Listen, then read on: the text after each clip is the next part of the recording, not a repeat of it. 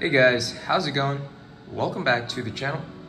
Today we're going to be talking about how to play Pokemon TCG. Compared to other TCGs, Pokemon's actually really easy to play and it's a lot of fun. Pokemon has been a huge part of my childhood um, and I really love playing it, so I hope you guys give it a shot. And if you do, please don't forget to like the video, subscribe to the channel, and comment down below. There are essentially only three kinds of cards in Pokemon. Here you have the Pokemon itself, you have the energy card, and you have trainer cards. There are going to be variations of these three cards, but don't worry too much about it. Uh, Pokemon's fairly intuitive, everything will be explained on the card, so let's jump in. Here you have an example of a Pokemon. In this case, it's Clefairy. Here you have the type of the Pokemon, the HP, the stage of the Pokemon. You have two attacks here in the middle. You have the weakness, resistance, and the retreat cost. That's essentially all you have to know about this card in order to play it. Here you have a basic fire energy. Energies are what you attach to your Pokemon in order for it to use its attacks. Alright, and lastly, we have trainer cards. In this case, this is a supporter trainer. There are various different kinds of trainer cards, which we'll look at in a little bit. Essentially, you use these cards in order to activate its effects during your turn. Here are five different variations of Pokemon. Here's an example of a evolution Pokemon. It is a stage one Pokemon, and it says right here evolves from a Voltorb. This means that you cannot play this card directly onto your bench. You have to actually evolve it. You have to have a Voltorb in your bench for one turn, and then evolve it into an Electrode the next turn. Here's an example of a V Pokemon. This is a Rapid Strike Urshifu V. Uh, this card may look drastically different from the typical Pokemon card, but it works in essentially exactly the same way. It is a basic Pokemon, has a type, he has the HP, and its attacks are over here. Uh, the only difference between this and a regular Pokemon is the V rule. Uh, it essentially means that if this Pokemon is knocked out, your opponent draws two prize cards instead of one. And here you have the VMAX. This is a Rapid Strike Urshifu VMAX. It essentially works as an evolution of the V Pokemon. Here you can see it is a VMAX stage, which means it evolves from a Rapid Strike Urshifu V. Uh, everything else works in exactly the same way. Um, here you have a VMAX rule instead of a V rule, uh, in which case if this Pokemon is knocked out, your opponent draws three prize cards instead of two or one. These are typically really, really powerful Pokemon that you want to have as attackers in your deck. Uh, in this particular case, um, this is the main attacker of my deck. Here are two more examples of energy cards on the left here, we have a basic fighting energy. And on the right, you have a special energy.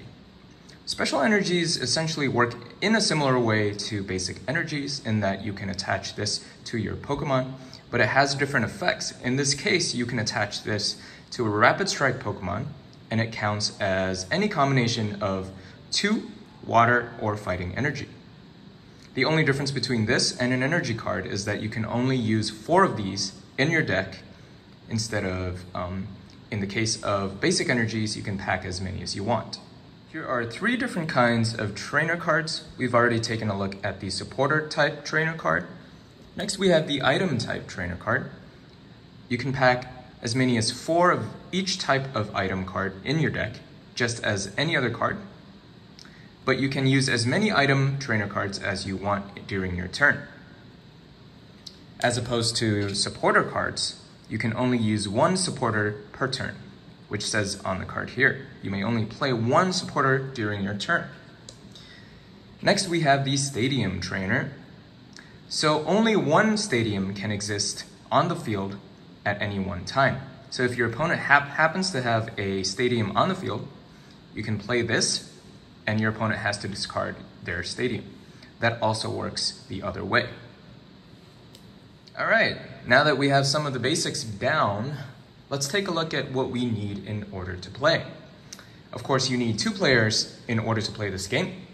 You need a one deck of 60 cards per player. You need damage counters in order to keep track of the damage dealt to your Pokemon. You need these markers, or some kind of marker, in order to indicate if a Pokemon is burned or poisoned. And finally, you need a coin. There are going to be various instances where you need a coin. You can use any coin. I prefer to use this wonderful vintage Lugia metal coin. You can start the match by calling heads or tails and then flipping a coin to see who goes first. In this case, it's tails, so if I had called heads, my opponent would go first. Before we begin, allow me to explain the different zones here on the field. Here you have your deck, your discard pile, you have your active Pokemon zone, you have your bench. You can put a maximum of five Pokemon onto your bench, and you have your prize pool. You start off with six cards on your prize pool. Once you've determined who goes first, you may now draw your hand. You start off with seven cards in your hand one, two, three, four, five, six, seven. Take a look at your hand and determine how many basic Pokemon you have in your hand you now have to place at least one basic Pokemon onto the field. In this case, I'll put my Rapid Strike Urshifu V face down into my active zone, and I'll put my Sobble onto the bench face down. Once your opponent is ready, you now draw six cards onto the prize pool. One, two, three, four, five, six.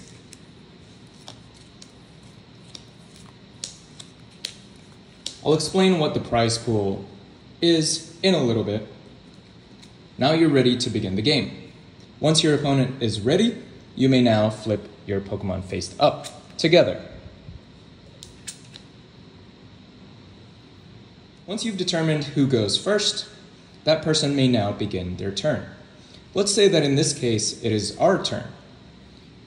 You begin the turn by drawing a card we now have Rapid Strike Urshifu V in our active zone and Sobble in our bench. We have a trainer, Cynthia's Ambition. You can only attach one energy card onto your Pokemon once per turn. So in this case, I have the option of either attaching my Fighting Energy or my Rapid Strike Energy onto either of my Pokemon. And I have one Supporter Trainer, which you can only play one of per turn. In this case, I'll attach my Rapid Strike energy onto Urshifu. During your first turn, you cannot declare an attack. Uh, you also cannot evolve your Pokemon. As I said before, it takes one turn for you to evolve your Pokemon. So if you've placed your Pokemon onto your bench this turn, you cannot evolve it this turn. You have to evolve it the next turn. There are three different win conditions in this game. Uh, here you have your prize pool. Every time you knock out one of your opponent's Pokemon, you can draw one card from your prize pool. If you knock out a V Pokemon, you can draw two. And if you knock out a VMAX or V-Star, you can take three prizes if you knock out that Pokemon. So, the win conditions of the game are if you finish your prize pool, and if you've drawn all your prize cards onto your hand, you win the game, or if your opponent has no Pokemon left in play. The third win condition is that if your opponent runs out of cards in their deck, you win the game. Alright, let's set up an example of an attack. Here you have Urshifu V with a Rapid Strike energy attached to it. That'll be enough to use the Strafe attack. During my turn, I can choose to engage in that attack. So if I use Strafe, I'll be able to deal 30 damage to my opponent's Pokemon. As you can see, my opponent's Pokemon has 220 HP, so 30 damage is not going to be enough to knock it out. Make sure that you read the effect of each attack on your Pokemon. The effect of this is that you may switch this Pokemon with one of your bench Pokemon. So after dealing 30 damage, I switch to my Sobble. Alright, let's set up an example of a knockout. So, as you can see, once again, you have Urshifu V. It has a very high damage attack called 100 Furious Blows, which does 150 damage. But I'm still missing one energy from this. This counts as two energy, and it requires three. Two fighting and one colorless. I have one fighting energy in my hand, which I'll attach to my Urshifu V. I can now use the second attack. So I'll go ahead and use that attack onto my opponent's Houndour. Since it only has a 60 damage, or 60 HP, it gets knocked out. And since I knocked out a Pokemon, I am now able to draw one prize card from my prize pool. Now my opponent has to pick a Pokemon to replace that Pokemon in the active spot. Now let me give you an example of a retreat. So, once again, taking a look at the card, the retreat cost of this Pokemon is 2 colorless energy. Colorless refers to any energy type. So, in this particular case, I can discard my Rapid Strike energy, which counts as 2 energy, into my discard pile, and retreat my Rapid Strike Urshifu onto the bench and put Sobble out onto the active spot. During your turn, you can choose to use one of your trainer cards. In this case, I'll use Cynthia's Ambition. It says draw cards until you have five cards in your hand. If any of your Pokemon were knocked out during your opponent's turn, draw cards until you have eight. So let's just say that mm, my Pokemon wasn't knocked out last turn, so I can only draw up to five cards in my hand. I use Cynthia's Ambition, put it in my discard pile. I now have two cards in my hand, which means I can draw three so that I can have five cards in my hand. I drew three more supporters. Uh, since I already used Cynthia's Ambition, which is a supporter trainer card, I can no longer use a supporter because you can only play one supporter during your turn.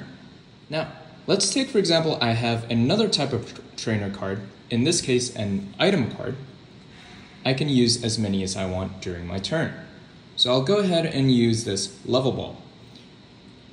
The effect of Level Ball is that I can search my deck for a Pokemon with 90 HP or less, reveal it, and put it into the hand.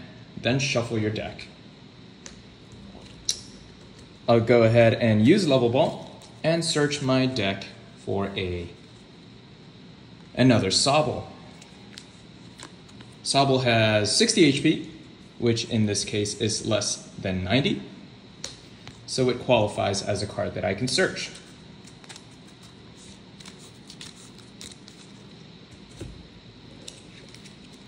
Now I can put Sobble onto the bench. Alright guys, I think I've given you enough for you guys to start playing. So, uh, there are a number of things that I have not explained yet uh, in this video, so I will be uploading more, so stay tuned for that. Um, if you guys are interested in the full rulebook, you can get your rulebook from a Elite Trainer box and a couple of other uh, different Pokemon products. You can also go to their website and take a, a look at the rulebook there. I'll leave a link down below.